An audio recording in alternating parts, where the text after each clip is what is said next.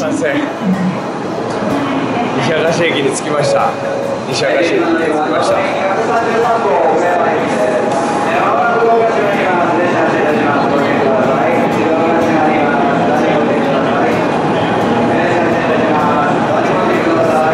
西明石と姫路の間に加古川というところがあって残念ながら新幹線止まらないですけどそこに在来線に乗り換えて今から行きます。レッツゴー